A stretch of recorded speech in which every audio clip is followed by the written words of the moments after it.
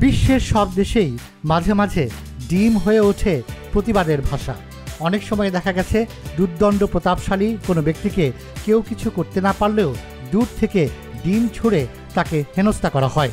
ডিম ছুড়লে কেউ আহত হন না, তবে এটা যে অপমানজনক তা সবারই জানা।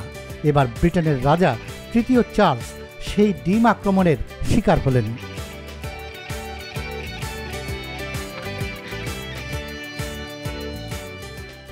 ঘটনাটি ঘটে বুধবার যুক্তরাজ্যের ইয়র্ক শহরে। সেখানে নতুন রাজা ও রানী এসেছিলেন একটি অভ্যর্থনা অনুষ্ঠানে। রাজা ও রানীকে স্বাগত জানাতে ভিড় জমে যায় রাজকীয় প্রবেশদ্বারে।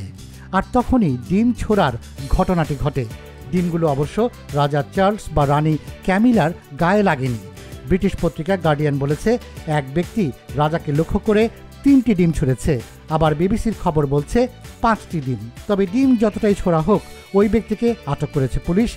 জানা গেছে, ওই ব্যক্তিকে আটক করার সময় তিনি চিৎকার করে বলেছেন, এই দেশ দাসদের রক্তে তৈরি, চার্লস আমার রাজা নয়। পাশাপাশি শোনা গেছে, কেউ বলছেন, সৃষ্টিকর্তা রাজাকে রক্ষা করুন। ঘটনাটি রাজা চার্লসের জন্য ছিল খুবই অপ্রত্যাশিত। এই সময় তিনি ও রানী ক্যামিলাকে বেশ অপ্রস্তুত দেখা যায়। মাত্র কদিন আগেই চার্লস তার মা, রানী দ্বিতীয় এলিজাবেথকে হারিয়ে রাজা হবার দায়িত্ব পান।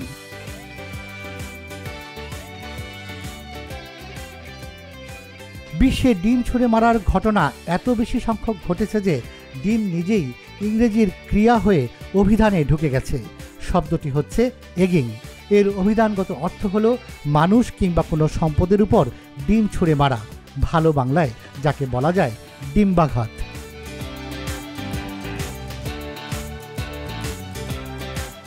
ডিম ছোড়ার কিছু ঐতিহাসিক ঘটনাও বেশ আলোচিত।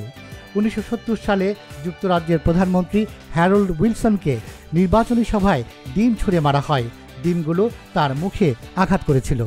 দু হাজার চার সালে ইউক্রেনে প্রেসিডেন্ট নির্বাচনের প্রার্থী ভিক্টর ইয়ানোকোভিচকে ডিম ছুঁড়ে মারা হয় ডিম তার মাথায় আঘাত করলে তাকে দ্রুত হাসপাতালে নেওয়া হয়।